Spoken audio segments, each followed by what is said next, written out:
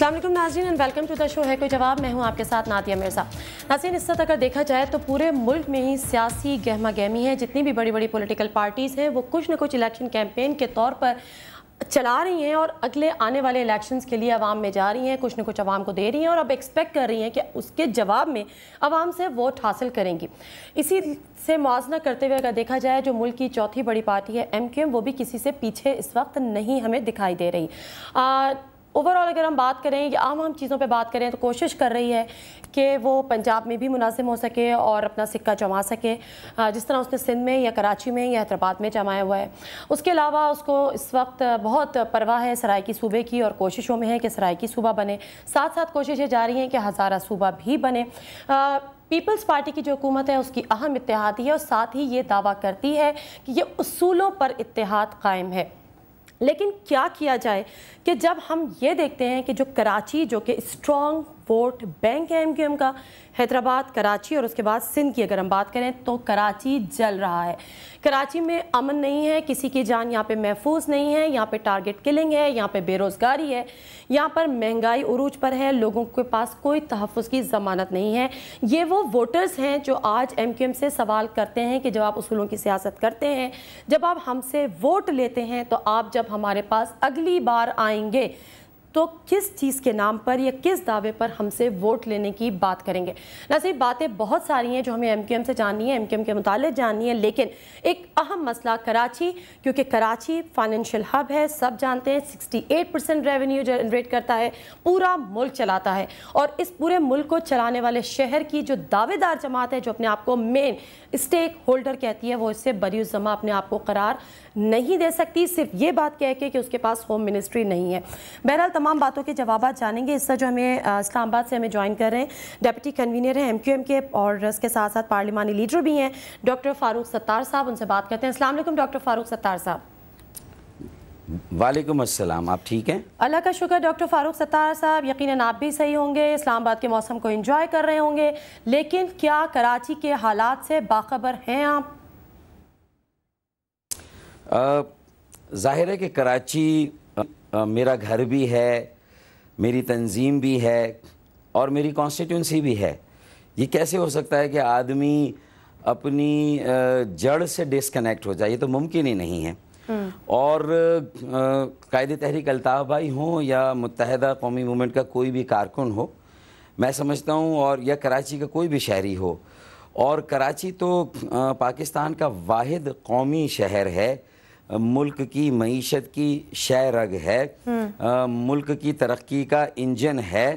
اور اگر خدا نہ خواستہ یہ بار بار کراچی کے خلاف جو سازش ہو رہی ہے جس کے ذریعے سے ملک میں ملک کو غیر مستحکم کرنے کی سازش ہو رہی ہے جس کے ذریعے سے ملکی معیشت کو تباہ برباد کرنے کی کوشش کی جا رہی ہے اور جس کے ذریعے سے بھائی کو بھائی سے لڑا کر جو واحد شہر ہے کہ جسے منی پاکستان کہتے ہیں جہاں پاکستان کے تمام صوبوں اور علاقوں کے لوگ مختلف لسان اکائیاں آباد ہیں۔ اگر وہاں پر وہ آپس میں باہم شیر و شکر ہو کر متحد ہو کر جیو اور جینے دو کے اصولوں پر زندگی نہیں گزار سکتے تو میں سمجھتا ہوں کہ یہ ہم سب کی پاکستانیت پر بھی ایک بہت بڑا سوال ہم سب کا جو مشترکہ دشمن ہے جو سازش کر رہا ہے اور یہ سازش اس لیے بھی ہے کہ جیسے ہی متحدہ قومی مومنٹ کی کی مقبولیت میں اضافہ ہوتا ہے، متحدہ قومی مومنٹ تیزی کے ساتھ پنجاب میں، بلوچستان کے کچھ علاقوں میں، ہزارہ میں سرائی کی جو علاقہ ہے وہاں پر جو وہاں کے جو مسائل ہیں سیاسی، جب ان کی بنا پر اور اپنے ایک مڈل کلاس کا جو ہمارا ایک نظریہ ہے کہ ہم پاکستان ہم ایک عام آدمی کو اسمبلی میں پہنچانا چاہتے ہیں۔ تو پھر ہماری یہ پر ایک آخری بات سنیں ہمارے پر کاٹے جاتے ہیں اور ہماری پرواز کو روکا جاتا ہے۔ یہ ان ساری جو سازشیں ہیں اس سازش کے یہ سارے وہ پہلو ہیں اور اس کے محرکات ہیں جو میں نے آپ کے سامنے ڈاکٹر صاحب اگر میں جی۔ آپ کی ان تمام باتوں کو سچ مان لوں کہ یہ ایک سازش ہو رہی ہے اور اس سازش کو کو بے نقاب کرنے میں پاکستان جو کراچی کی سٹیک ہولڈر جماعت ہے وہ ناکام ہو چکی ہے۔ حکومت ناکام ہو چکی ہے اس کا مطلب ہے وہ اپنا سٹیک ہو رہی ہے۔ لیکن اس سے پہلے کہ میں آپ سے اور مزید سوالات جانوں آپ نے مجھے کہا کہ کراچی آپ کا گھر ہے کراچی آپ کا ووٹ بینک ہے آپ کا حلقہ ہے آپ اس سے بخوبی آگاہ ہیں۔ مجھے بتائیں پچھلے دو دنوں میں کراچی میں کتنی ٹارگٹ کلنگ ہوئی ہے کتنے لوگوں نے اپنی جان سے ہاتھ دھوئے ہیں؟ دیکھیں متحدہ قومی مومنٹ انتہائی منظم اور بہت آرگنائزڈ جماعت ہے۔ ہم صرف میڈیا پر ریلائی نہیں کرتے ہمارے تو اپنا ایک نیٹ ورک ہے تنظیمی بالکل مجھے پتا ہے آپ لوگوں کا کتنا اسٹرانگ نیٹ ورک ہے عوام کے ساتھ رابطے میں ہے بالکل مجھے سے بتائیں دو دن میں کتنے لوگ آپ کے شہر میں جان سے ہاتھ دھو بیٹھے ہیں؟ دیکھیں دیکھیں، ایک ایک اخبار میں کل کی جو جو اعداد و شمار آئے شمار آئے، وہ دس تھے اور دوسرے اخبار میں پندرہ تھے۔ ہمارے پاس کل سے لے کر آج تک جو گزشتہ دو دنوں میں جن لوگوں کو، اور یہ سب کے سب پہلی بات تو جسے آپ ٹارگٹ کلنگ کہتے ہیں، یہ وہ ٹارگٹ کلنگ بھی نہیں ہے۔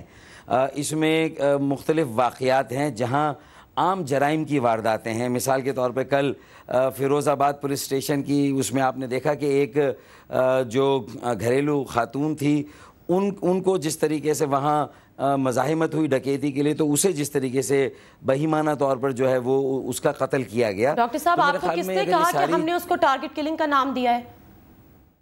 میں یہی کہہ رہا ہوں میں تو میں تو آپ کی آڈینس کے لیے جو ویورز ہیں ویورز کو پتا ہے ویورز کو پتا ہے جن کو پتا کرنا ہے ان کو سب کو پتا ہے۔ میں آپ کو بتاؤں کہ پچھلے دو دنوں میں بائیس افراد مر چکے ہیں کراچی میں میرے علم ہے میرے علم ہے میرے علم ہے۔ اب اب آپ مجھے یہ بتائیں۔ اگر دس اور پندرہ لیں اور آج کے ساتھ لیں معذرت کے ساتھ معذرت کے ساتھ رحمان ملک کے رحمان ملک کے صاحب کے انداز میں بات نہیں کر رہی ہے کہ ہم میڈیا جو ہے وہ عام ہلاکتوں کو یا عام مرڈرز کو ٹارگٹ کلنگ میں کر دیتا ہے۔ میں آپ کو ایک چھوٹا سا فگر دیتی ہوں۔ وہ اس لیے میں آپ کو یہ فگر دوں گی کہ یہ آپ پہ ذمہ داری ہے۔ آپ لوگ ہمیشہ یہ کہتے ہیں کہ جی ہمارا ہوم منسٹر نہیں ہے۔ دو ہزار دو سے لے کے دو ہزار آٹھ، دو ہزار سات تک کا دور دیکھ لیجیے، اس سے ٹارگٹ کلنگ نہیں تھی۔ اس وقت نہیں تھی، لیکن اب کیوں ہے؟ یہ آپ بری زمان نہیں ہو سکتے۔ آپ مجھے بتائیں کہ آپ کیا سوال لے کے اپنے ووٹر کے پاس جائیں گے جب آپ ووٹر کو زندگی کی ضمانت نہیں دے سکتے؟ ناظرین، سال دو ہزار گیارہ کی اگر ہم بات کریں تو کراچی میں قتل و غارت کا پندرہ سالہ ریکارڈ ٹوٹ گیا تھا۔ مجموعی طور پر انیس سو گیارہ افراد جان کی بازی ہار گئے تھے۔ اس بات کی تصحیح یہاں پر کروں گی کہ جن میں سے ٹارگٹ کلنگ کا جو نشانہ بنے تھے وہ فور سیونٹی سکس تھے۔ اس بات کو کلیئر اس لیے کر رہی ہوں کہ ہم ان کو آپس میں مکس نہیں کرتے۔ جو ڈیتھس ہیں، جو کیجول ڈیتھس ہیں، یہ ڈیفرنٹ حادثات میں جن جو جاں باق ہوئے ہیں ان کو الگ رکھتے ہیں۔ ایم کیو ایم کے اکیس پیپلز پارٹی کے ایک سو تیرہ اے این پی کے اٹھانوے کارکن قتل ہوئے۔ یہ عدالتی کمیشن کی رپورٹ ہے۔ سال دو ہزار بارہ پہ آ جائیے۔ کراچی میں قتل و غارت گری مجموعی طور پر چار سو چھپن افراد اب تک جان کی بازی ہار چکے ہیں۔ جن میں سے چوراسی افراد ٹارگٹ کلنگ کا نشانہ بنے۔ یہاں پر بھی ہم نے ان کو ڈفرینشیٹ کیا ہے کہ جو ڈفرینٹ ایکسیڈنٹس میں مرے ہیں یا ان کی جو مرڈر ہوئے ہیں، ان کی جو کلنگ ہوئی ہے، وہ ٹارگٹ کلنگ میں ہوئی ہے۔ گزشتہ تین روز میں بائیس افراد موت کے گھاٹ اتار دیے گئے ہیں۔ مجھے یہ پتا ہے ڈاکٹر صاحب کہ جب آپ کے یونٹ کے لڑکے یا آپ کے جو سیکٹر کے جو انچارج تھے یا ان کے جو ممبرز تھے، جب ان کو ٹارگٹ کلنگ کا نشانہ بنایا جاتا ہے تو پورا کراچی بند کر دیا جاتا ہے۔ مزید دس لوگ شہادتیں پاتے ہیں، مزید دس لوگ جہاں باق ہوتے ہیں۔ مگر جب تین دن میں یہ بائیس افراد مر گئے تو کہاں ہے ایم کیو ایم؟ کیوں نہیں آپ لوگوں نے سوک کا اعلان کیا؟ کیوں آپ لوگ ہڑتالیں نہیں کرتے؟ کیوں حکومت کو دھمکیاں نہیں دیتے کہ علیحدہ ہو جائیں گے؟ اتحاد سے کہ کس کے ہاتھ پہ ہم ان کا خون تلاش کریں۔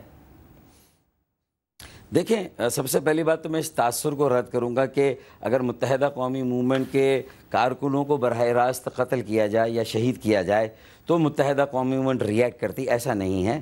متحدہ قومی مومنٹ نے کسی بھی ایک شہری کا قتل ہوا یا اسے شہید کیا گیا، اس کا تعلق چاہے وہ کسی جو ہے وہ لسانی اکائی سے اس کا تعلق ہو، اس کا تعلق کسی سیاسی جماعت سے ہو یا وہ کسی فرقے سے اس کا تعلق ہو، متحدہ قومی مومنٹ نے ہمیشہ اس کی مذمت کی ہے، متحدہ قومی مومنٹ بالکل یہ سمجھتی ہے، متحدہ قومی مومنٹ کی شعوری پالیسی عدم تشدد کی ہے اور متحدہ قومی مومنٹ کا جب ہوم منسٹر تھا، جس کا آپ نے خود ذکر کیا دو ہزار دو سے دو ہزار سات تک، جب ہمارا فیصلوں میں، پالیسیوں میں زیادہ حصہ تھا، جب ہم زیادہ با اختیار تھے، جب ہم نے ایک ایسا پرسکرپشن نسخہ یا فارمولا وضع کیا تھا کہ جس کو بروئے کار لا کر ہم نے ضمانت دی تھی یہاں پر امن اور استحکام کی ایک بلین ڈالر کی براہ راست ہر سال سرمایہ کاری کراچی میں ہو رہی تھی اور کراچی کی بدولت پانچ بلین ڈالر کی سرمایہ کاری بیرونی سرمایہ کاری پورے ملک میں ہو رہی تھی۔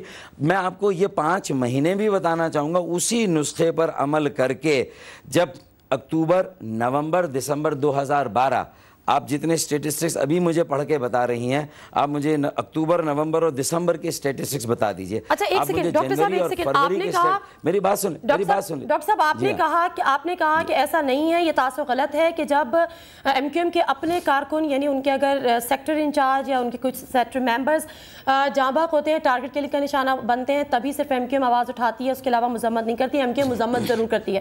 ہم اخباروں میں ایک نہ ایک بیان ضرور دیکھتے ہیں یا آپ کا یا آپ کی کسی رابطہ کمیٹی کے رکن کا۔ لیکن پورا کراچی بند ہو جاتا ہے جب دو بھائی ٹارگٹ کلنگ کا نشانہ بنتے ہیں۔ آپ ہی کے حلقے میں آپ ہی کے گھر کے پاس پی آئی بی کالونی میں۔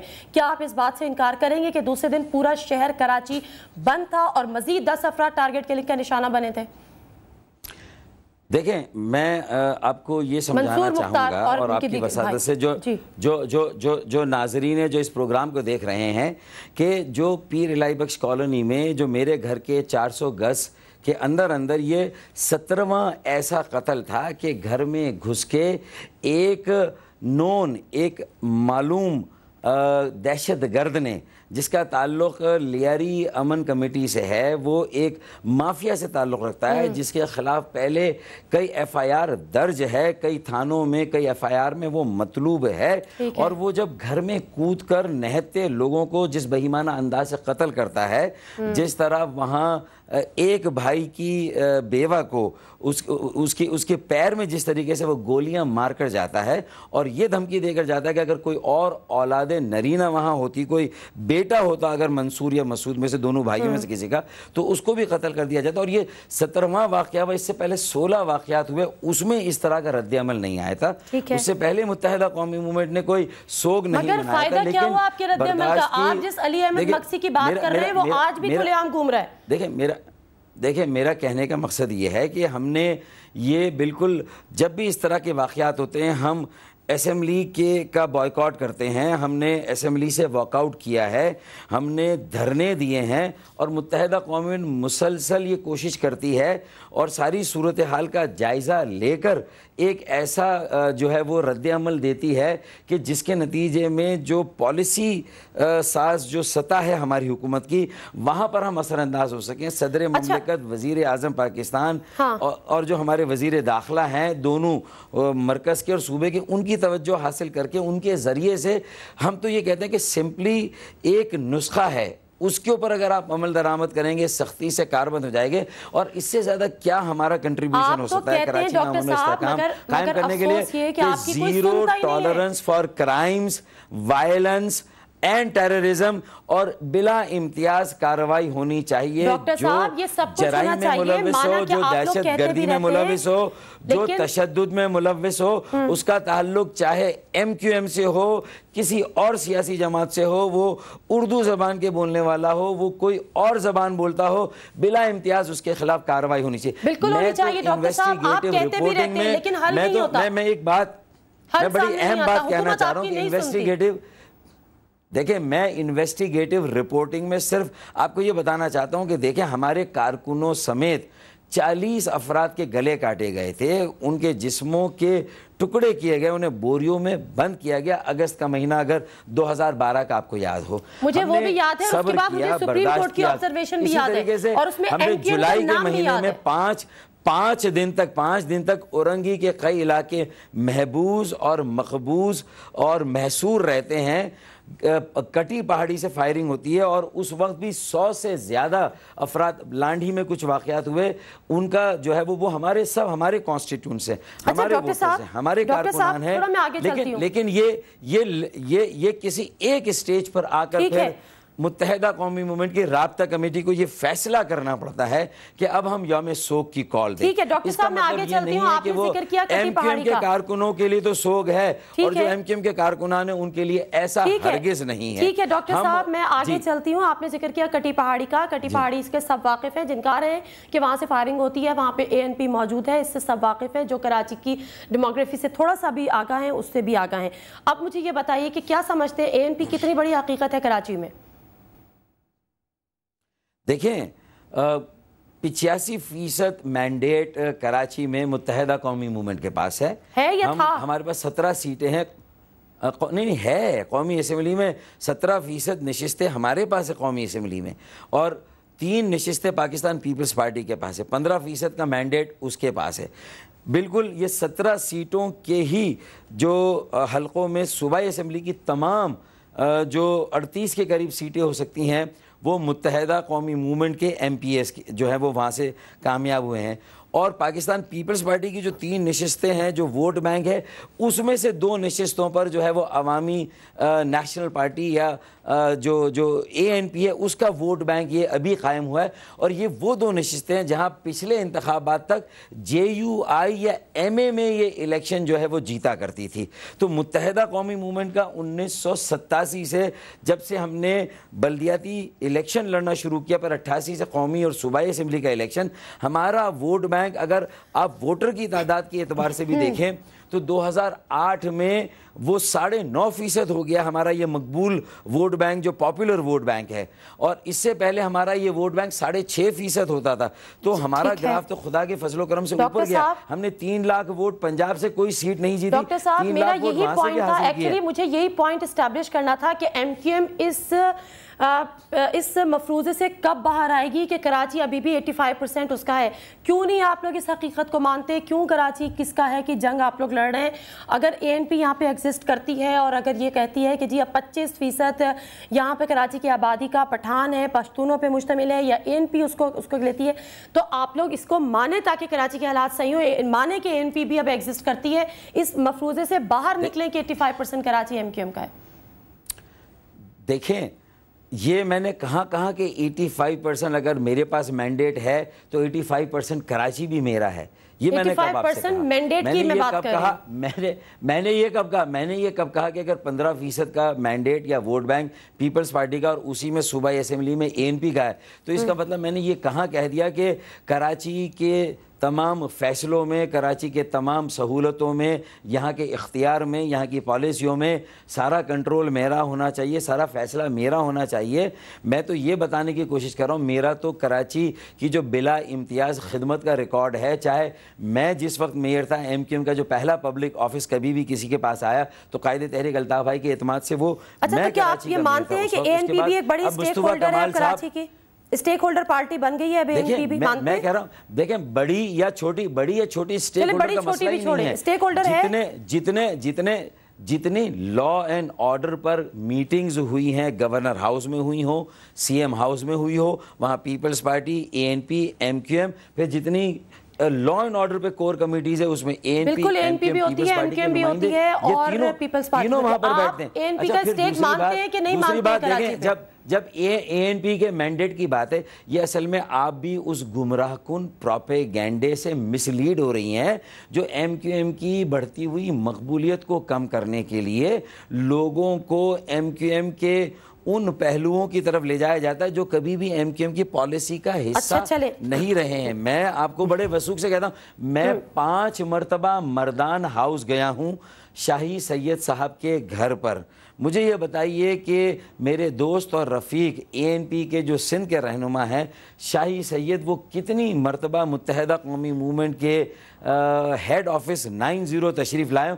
ایک کرٹیسی کی خاطر ہی ڈاکٹر عمران فاروق بھائی کی شہادت کے بعد ہے۔ بھی دیکھیں دیکھیں میری بات سنیں میں صرف یہ بتانے کی کوشش کر رہا ہوں کہ میری طرف سے یہ کبھی ایشو رہا ہی نہیں کراچی کی ڈیموگرافی ہو یہاں جو شمالی علاقوں سے نقل مکانی کر کے لوگ آ رہے ہیں چاہے وہ معاشی مائیگرنٹس ہوں چاہے انٹرنلی ڈسپلیز پرسنس ہو جو آ رہے ہوں۔ یہاں اگر اے این پی کو میری طرف سے آج دو نشستیں ملی ہیں میری طرف سے اگر کل چار اسے نشستیں صوبہ اسمبلی کی ملتی ہیں کل اگر ایک اسے قومی اسمبلی کی ملتی میں ایک ایک ایک ایک لاؤڈ تھنکنگ کرتے ہوئے کہہ رہا ہوں۔ میرا ایشو یہ نہیں ہے۔ میرا ایشو یہ اچھا، ہے مجھے ایک چیز اور بتائیں۔ جب میں جب میں یہ کانفرنٹ کرتا ہوں ان علاقوں میں کرائمز کا ریٹ زیادہ ہے جو۔ بال اتفاق اے این پی یا اچھا، میرے جو کراچی ہیں جن کا تعلق پیپلز پارٹی یا اے این پی سے۔ ہے تو میں ان کی ذمہ داریاں ان کو یاد دلاتا ہوں ٹھیک ہے، میں کراچی سے اسی آگے طریقے بڑھنا سے چاہ جو رہی ہوں، ڈاکٹر میرے- حلقوں۔ کی پھر انکروچمنٹ کراچی کے ان علاقوں میں ہو رہی ہے جہاں ورجن ویکنڈ لینڈ ہے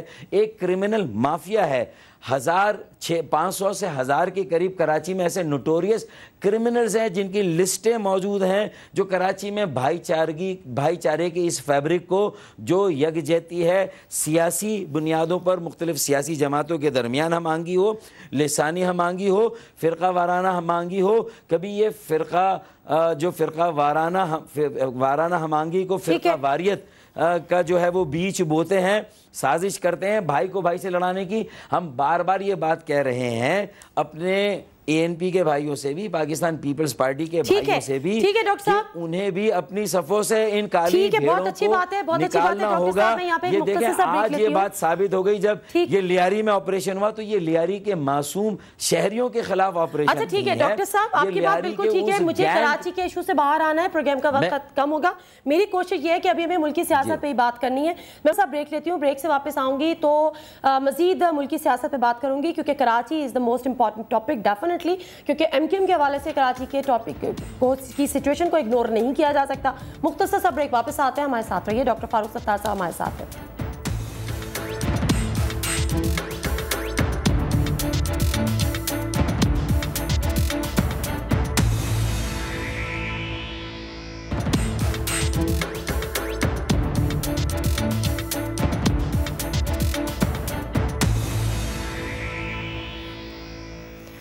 جی Nasir welcome back to the show ہے کوئی جواب؟ اور ہم بات کر رہے ہیں ڈاکٹر فاروق ستار صاحب سے، کراچی کی سچویشن پہ ہی بات کی ہے، مزید آگے بھی بات کریں گے، لیکن مزید آگے بات کرنے سے قبل صرف ایک چیز مجھے بتاتے جائیے گا ڈاکٹر صاحب، کہ آپ نے فرمایا کہ شاہی سید صاحب کو ہم نے کئی دفعہ نائن زیرو آنے کی دعوت دی، وہ نہیں آتے، آپ بذات خود پانچ دفعہ گئے۔ کیا یہ ایک پرسیپشن ڈیولپ ہو رہا ہے کہ چونکہ اے این پی اور ایم کیو ایم کی نہیں بنتی، اس لیے جب عمران خان کراچی میں آ کے جلسہ کرتے ہیں اور پختونوں کی ایک بڑی تعداد خان صاحب کے جلسے میں جاتی ہے، تو یہ ایم کیو ایم کو یہ چیز سپورٹ کرتی ہے اس لیے اب ایم کیو ایم اور پی ٹی آئی یعنی خان صاحب کی جماعت تک کافی حد تک اس میں آپس میں مکمکا ہو چکا ہے۔ ایسی بھی کوئی خبریں ہیں آپ کے پاس؟ دیکھیں ہمارا تو مکمکا پاکستان کے عوام سے ہے ایک ورکنگ کلاس سے مڈل کلاس سے۔ پاکستان کے عوام جس پارٹی کو بھی مینڈیٹ دیں گے۔ اگر ہم اس پارٹی میں یہ محسوس کرتے ہیں کہ آج جیسے ہم یہ محسوس کرتے ہیں کہ ہماری روایتی سیاست میں، روایتی سیاسی جماعتوں میں وڈیروں کا، جاگیرداروں کا تسلط ہے، سرمایہ داروں کا تسلط ہے۔ ان کے مفادات کا تحفظ وہاں پر جو ہے وہ کیا جاتا ہے۔ پاکستان کے اور اور اور جو ہماری پارلیمان کا ستر فیصد جو وڈیروں، جاگیرداروں، بڑے سرمایہ داروں پر ہے، وہ جو جو ان کی آمدنیاں ہیں جو ان کے منافع ہیں اس پر وہ ٹیکس بھی نہیں دیتے یہ باتیں کئی سروے میں کئی رپورٹس میں یہ ساری باتیں شائع ہو چکی ہے لیکن اگر پاکستان کی جمہوریت یہی ہے عوام نے انہیں مینڈیٹ دیا ہے تو ہمیں ان کے ساتھ مل جل کر ہی پاکستان کو موقع دینا ہے جمہوریت کو ابھی موقع تو دینا ہے mandate معیشت نہیں کو دیا نا، ابھی تو الیکشن میں حصہ نہیں لیا نا پی ٹی آئی نے، ابھی تو چل رہی ہے نا۔ دو ہزار آٹھ میں جو نہیں نہیں نادیہ جو 2008 دو ہزار آٹھ میں دیا تھا۔ آج دیکھیں آج آج جو مینڈیٹ آپ کے سامنے وہ دو ہزار آٹھ کا مینڈیٹ ہے۔ دوسری بات میں میں PTI کی بات کر رہی ہوں، میں خان صاحب کی بات کر رہی ایک ایک آخری بات کر رہا ہوں۔ میں آ رہا ہوں پی ٹی آئی پہ بھی آ رہا ہوں۔ دیکھیں اے این پی خدا نخواستہ ایم کیو ایم کا کوئی مسئلہ نہیں ہے۔ یہ ہمارا کوئی ایشو نہیں ہے۔ ہمارا ایشو کراچی میں جو بڑا ایشو ہے وہ weak enforcement of civic laws جو شہری قوانین ہیں ان پر ان ان کا ان کا نفاذ کمزور ہے۔ ان کو منوان نافذ نہیں کیا جاتا۔ اصل ہمارا ایشو وہ ہے۔ اور اس کے لیے جو میرا فارمولا دو ہزار دو سے دو ہزار سات تک میں نے اختیار کیا جس کو سپریم کورٹ نے سو موٹو ایکشن لے کے سپٹمبر دو ہزار بارہ میں انڈورس کیا جس پر ہدایتیں دیں۔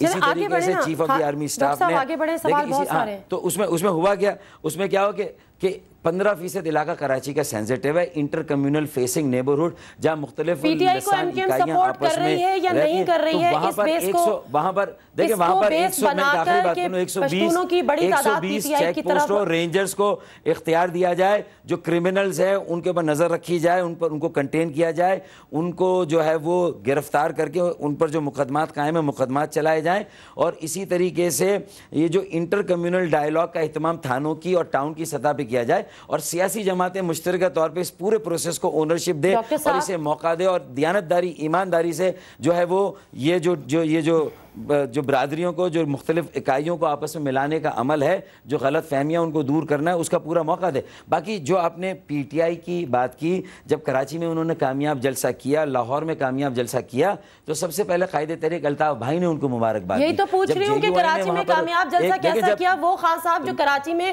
جن کو اجازت نہیں تھی کراچی ایئرپورٹ پہ لینڈ کرنے کی انہوں نے کراچی میں اتنا بڑا جلسہ کیسے کر لیا؟ دیکھیں معذرت کے ساتھ اگر حکومت وقت یا کسی حکومت کی طرف سے اجازت نہیں دی تو اس کا جواب تو حکومت کے اکابرین بتا سکتے ہیں۔ متحدہ قومی موومنٹ کوئی ریاست کا ایسا انسٹرومنٹ نہیں ہے جو اپنی طرف سے کسی کے آنے جانے پر یہ پابندی لگائے۔ یہ اس تاثر کو بھی اور یہی وجہ ہے کہ میں آپ کو ان جلسوں کے حوالے دے رہا ہوں۔ خان صاحب کا جو جلسہ ہوا کامیاب جلسہ ہوا کراچی میں اور پھر کیا جے یو آئی کا کامیاب جلسہ ہوا وہاں پر کراچی میں تو یہ دونوں باتیں ایم کیو ایم کو فیور دیتی ہیں؟ یہ دونوں باتیں ایم کیو بعد ایم کو فیور دیتی دفاع- ہیں کیونکہ کراچی کی دوسری بڑی پشتون آبادی ان دونوں جلسوں میں سب سے زیادہ جاتی ہے۔ جے یو آئی میں گئی پی ٹی آئی میں گئی۔ دیکھیں میری بات سنیں نا میری بات سنیں میری بات سنیں تو کیا اس کا مطلب ہے کہ اگر اے این پی کل کوئی جلسہ کرے گی اور اگر وہ بھی کوئی بڑا جلسہ کرنے کی کوشش کرے گی تو کیا یہ ایم کیو ایم جو ہے وہ اس جلسے میں جو ہے وہ اس جلسے میں کیا بھی سمجھتے ہیں کہ ایم کیو ایم کی طرف سے میں تو یہ کہہ رہا ہوں کہ یہ یہ جو ماحول سیاسی قائم ہوا ہے اور یہ۔ برسوں سے ہے یہ یہ یہ یہ تاثر ہے یہ پروپیگنڈا ہے ان جلسوں سے یہ ساری اچھا۔ بات ثابت ہوتی ہے چاہے اے این پی کرے پیپلز پارٹی کرے چاہے ہے۔ پی ٹی آئی کرے چاہے جے یو آئی اچھا کرے سیاسی دفاع ماحول کونسل develop آف۔ پاکستان کرے جس ماحول میں یہ سارے جلسے ہوئے ہیں آپ اس بات کے گواہ ہیں تو میں یہ سمجھتا ہوں کہ اب اس تاثر کو ایک طرف رکھ ڈاکٹر کے صاحب، خان صاحب کبھی 9-0 پورے آئے؟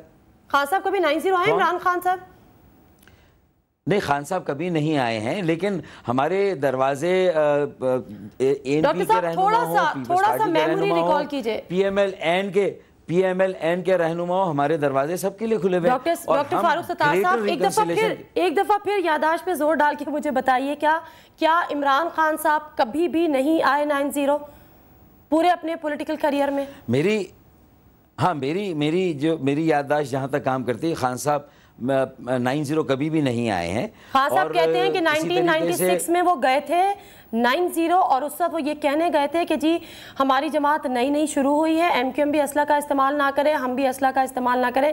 یہ خان صاحب کے الفاظ ہے ایک انٹرویو میں انہوں نے کہے ہیں۔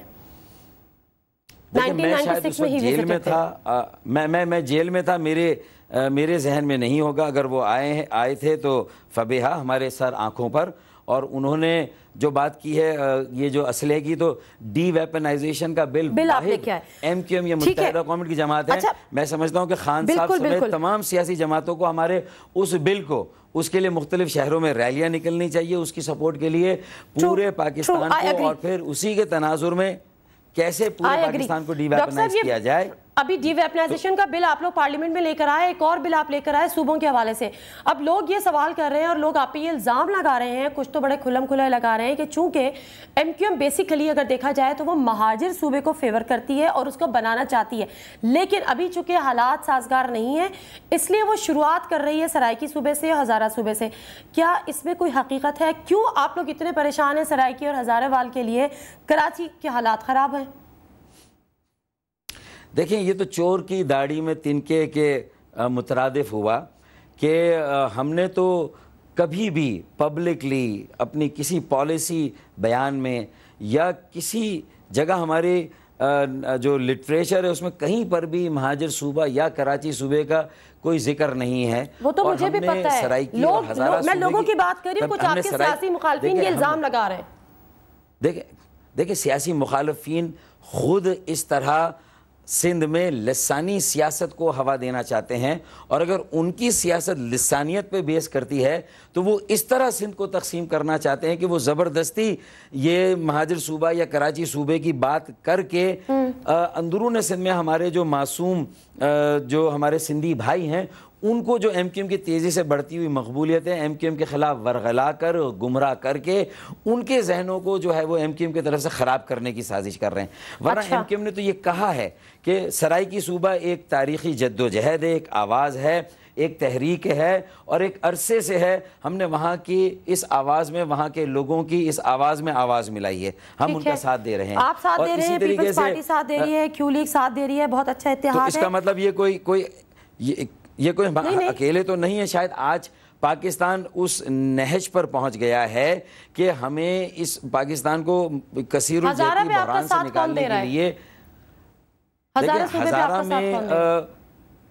دیکھیں ہزارہ میں جو بھی وہاں پیپلز پارٹی کا امیدوار الیکشن لڑتا ہے پی ایم ایل این کا الیکشن جو امیدوار الیکشن لڑتا ہے کیوں کا لڑتا ہے وہ وہاں کے صوبے کے مطالبے مطالبہ کیے بغیر وہاں الیکشن لڑ ہی نہیں سکتا ہے وہاں پر بھی اتنی جو ہے وہ بڑی اور بھرپور سپورٹ ہے ہزارہ صوبے کے قیام کے لیے جو ان کی قربانیاں رہی ہیں۔ ہم نے دیکھا کیو ترمیم کب میں سے ہزارہ صوبے کی آواز بن گئی؟ ایم کیو کب سے ہزارے والوں کی بتا رہا ہوں بن نا۔ گئی؟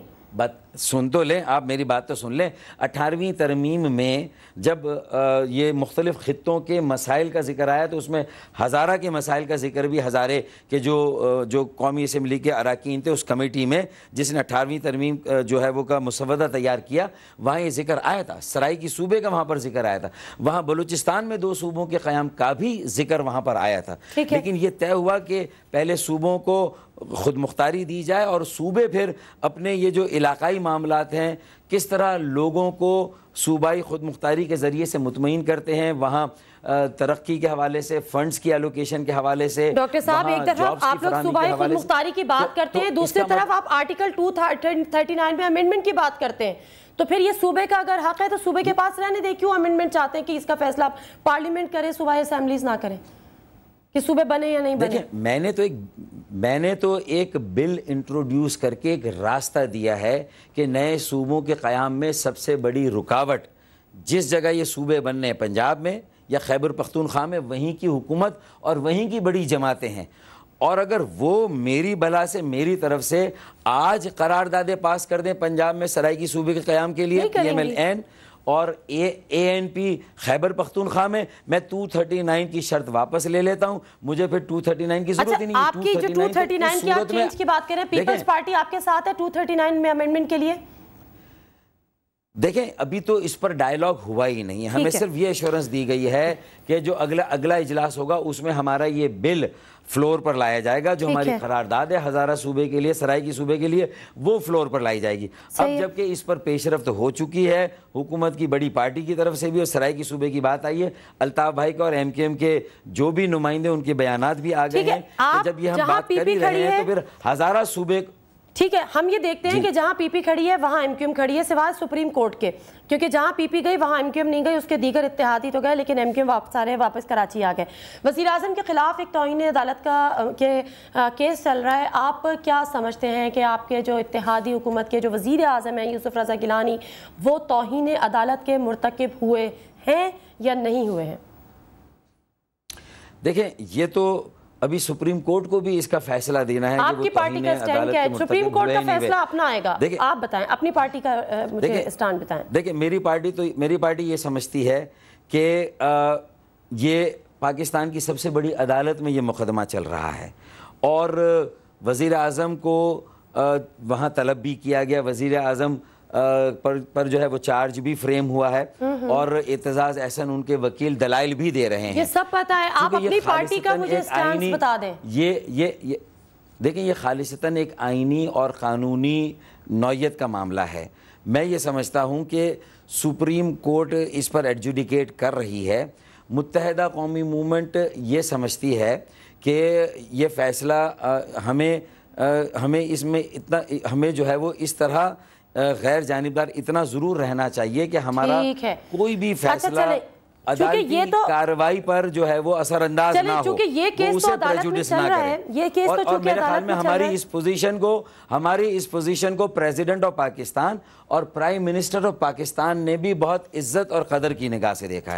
اور انہوں نے بھی اگر ہم ان کے ساتھ عدالت نہیں گئے تو انہوں نے بھی اسے محسوس نہیں کیا ہے۔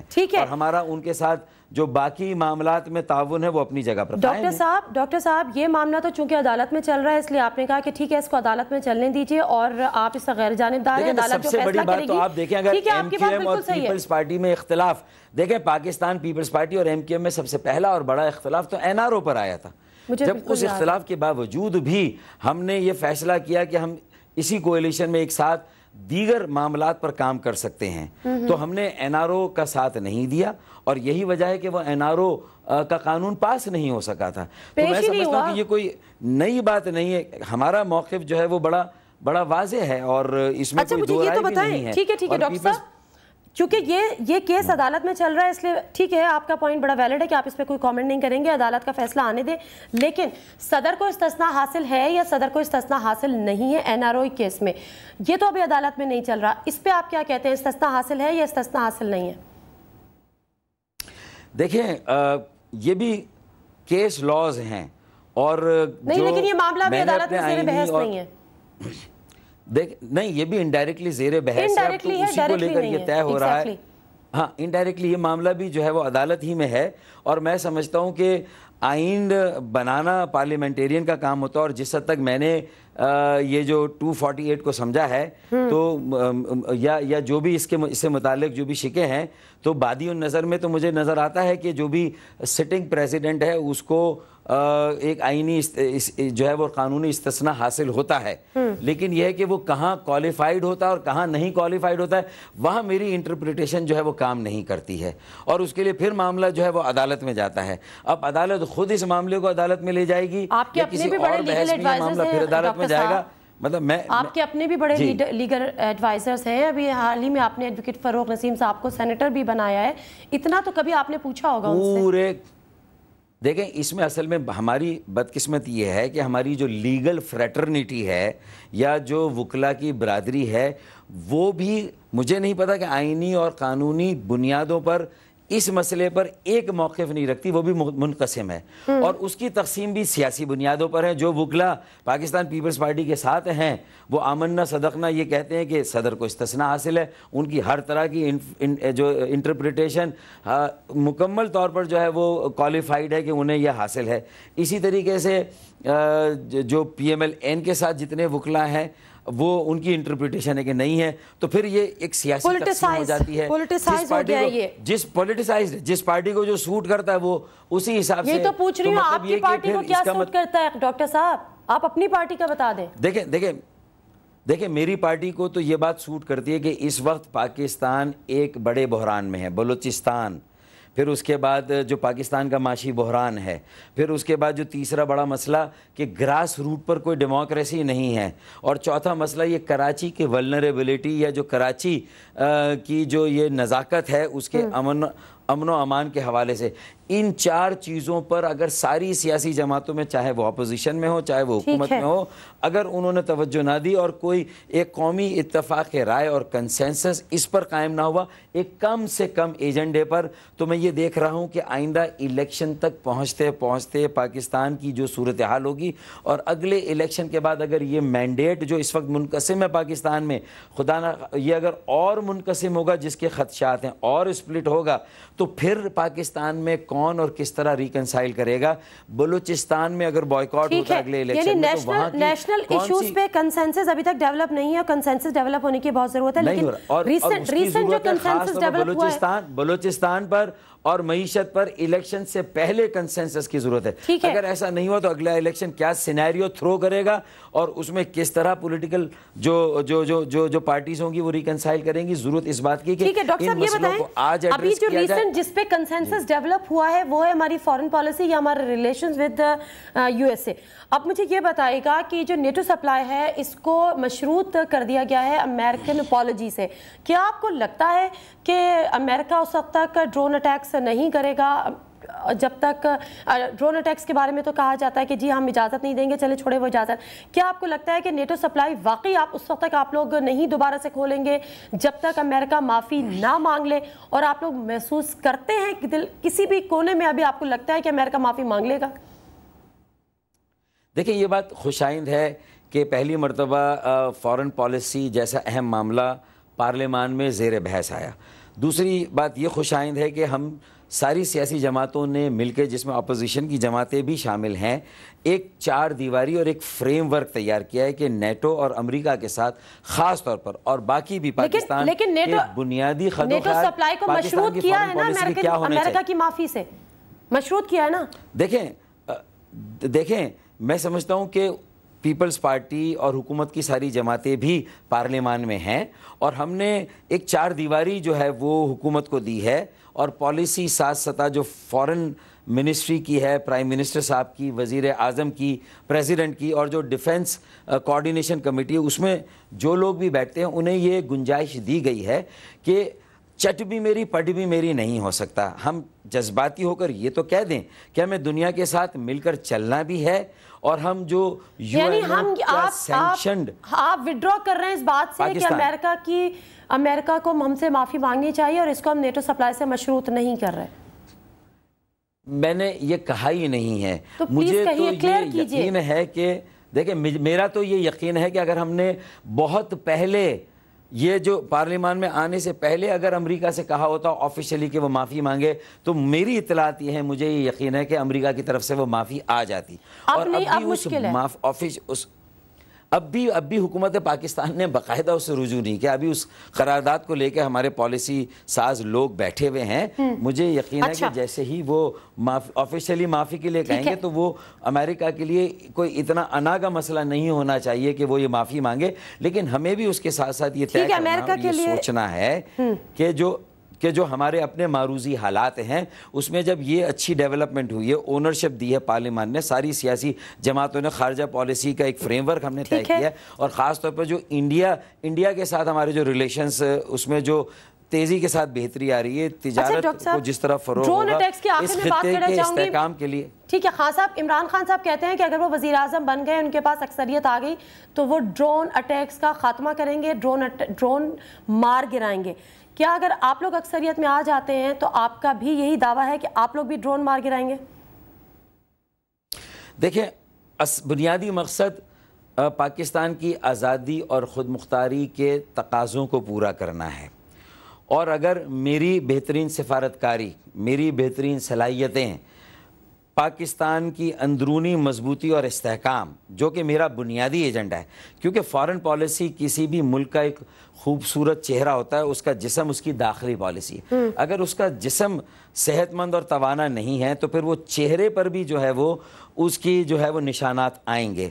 تو میں اسی پر اندرونی طور پر مضبوط اور میں سمجھتا ہوں کہ میری جب داخلہ پالیسی مستحکم اور مضبوط ہوگی تو میری سفارت کاری کے ذریعے سے یہ مجھے پتا ہے کہ مجھے اعتماد ہے کہ میں ڈرون اٹیک کا ایک ایسا متبادل نکال سکتا ہوں جس کے ذریعے سے جو ہم اتحادی ہیں وار آن ٹیرر اور ہم یو این او کے ساتھ ہیں۔ یہ جو انتہا پسندی اور دہشت گردی ہوئی تھی پوری دنیا میں ڈرون اٹیک کا متبادل نکال سکتے ہیں لیکن ڈرون گرانے کا سوچ بھی نہیں سکتے۔ دیکھیں دیکھیں میرا کہنے کا مقصد یہ ہے کہ جب میرے پاس کسی میرے پاس کسی بات کا علاج ہے اور میں میں سمجھتا ہوں کہ یہ ممکن ہے امریکہ کو مستقل انگیج کر کے میں نے یہ نہیں کہا ڈرون کی مذمت متحدہ قومی مومنٹ نے بھی ہمیشہ کی۔ ڈرون نے ہمیشہ حکومت پر بھی یہ زور دیا کہ ان حملوں کو رکوایا جائے۔ رکوانے کا مقصد یہی ہے۔ تو میں بھی تو رکوانے کی بات کر رہا ہوں۔ میں کب اچھا۔ یہ کہہ رہا ہوں لیکن یہ آپ کیوں انٹرپریٹ کر رہی ہیں کہ رکوانے کا مقصد اس کو گرانا ہے یا رکوانا؟ رکوانے کا مقصد رکوانا ہے۔ اب چاہے میں جس طرح بھی اس کو رکواؤں میرے پاس اس کا جو بھی طریقہ کار ہو۔ تو یہ میری اپنی جو ہے وہ اچھا مجھے جی۔ مجھے آخر میں میرے پاس صرف اب شاید لاسٹ منٹ ہی بچاؤ میں تھوڑا سا واپس آؤں گی کیونکہ ہم ہم نے اپنی فارن پالیسی بھی ڈسکس کی ہے نیشنل ایشوز بھی ڈسکس کیے ہیں۔ مجھے بتائیں فاروق ستار صاحب کہ لوگ یہ کہتے ہیں کہ ایم کیو ایم وہ واحد جماعت ہے اور شاید جماعت سے بڑھ کے کچھ لوگ اس کو اب مافیا قرار دینے لگے ہیں کہ اس میں جانے کے راستے تو ہیں واپس آنے کے کوئی راستہ نہیں ہے۔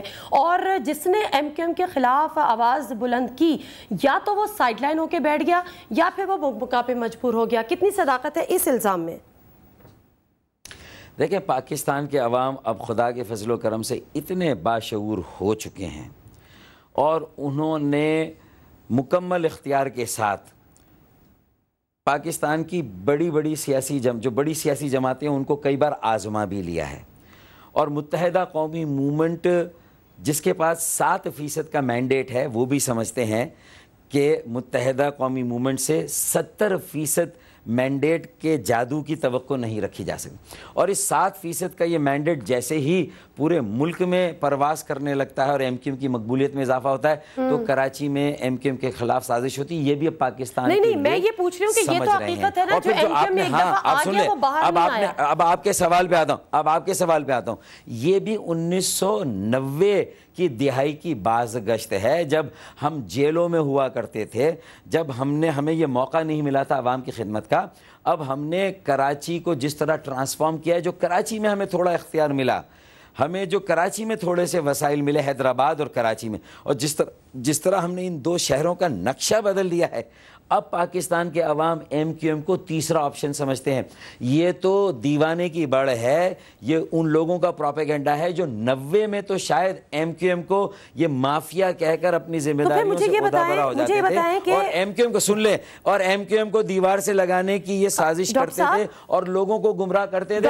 اب لوگ سمجھ گئے کہ اگر پاکستان میں کوئی میڈل کلاس پارٹی ہے متوسط طبقے کی ورکنگ طبقے کی کوئی جماعت ہے تو وہ صرف اور صرف متحدہ خان جو دعویٰ کرتے تھے کہ اسکاٹلنڈ یارڈ جا کے ایم کیو ایم کے خلاف پروفز دوں گا۔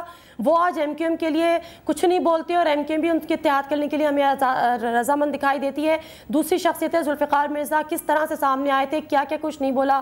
قرآن پاک سر پہ اٹھایا اور آج ان کو کوئی پوچھتا نہیں ہے۔ ایسا کیا ہے ایم کیو ایم میں جو اس کے خلاف جس نے بھی بولا وہ پنپ نہیں سکا۔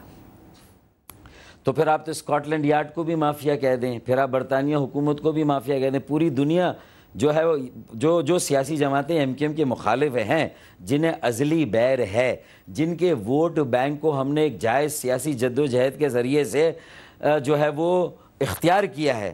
ہم نے کوئی زبردستی یہ ووٹ بینک نہیں لیا۔ سارے انتخابات ہمیشہ پرامن ہوئے ہیں۔ بہت کم واقعات کراچی کی پولیٹیکل الیکشن ہسٹری کے ایسے ہیں کہ جہاں پر انتخابات میں ماں سوائے ایک بائی الیکشن کے کوئی الیکشن نہیں ہے جہاں ایم کیو ایم کے حوالے سے اس کے سامنے جو فریق جنہوں نے الیکشن لڑا کہیں پر کوئی خدا نخواستہ کسی کو ایک گزن تک پہنچی ہو کسی کو خراش تک آئی ہو ایسا کوئی ایسے واقعات نہیں اس کی نوبت ہی نہیں آتی۔ ٹھیک ہے بہت شکریہ ڈاکٹر فاروق ستار صاحب بہت شکریہ ہم اتنا ٹائم دینے کا۔ ہم سے کھل کر آج بات کرنے کا ان تمام الزامات کا بھی جواب دینے کا جو گائے بگائے آخری بات واحد مڈل کلاس جی۔ گائے بگائے آپ پر لگتے رہتے ہیں۔ ہم نے بات کہی تھی ڈاکٹر فاروق ستار سے جو ہمارا اصل ایشو تھا وہ ڈیفنیٹلی کراچی سچویشن تھا لیکن اس کے ساتھ ساتھ ہم نے نیشنل ایشوز پہ بھی بات کی ملک کی فورن پالیسی پہ بھی بات کی اور اس کے ساتھ ساتھ جو ایم کیو ایم پہ جس طرح سے الزامات لگتے ہیں ڈاکٹر فاروق ستار صاحب اس کو ڈیفینڈ اس طرح کرتے ہیں کہ جب ایم کیو ایم کی شہرت ملک بھر میں پھیل رہی ہوتی ہے تو ایم کیو ایم کو نقصان پہنچانے کی کوششیں کی جا رہی ہوتی ہیں۔ فی الحال دیجیے پروگرام ہے کوئی جواب سے نادیہ مرزا کو اجازت اللہ حافظ۔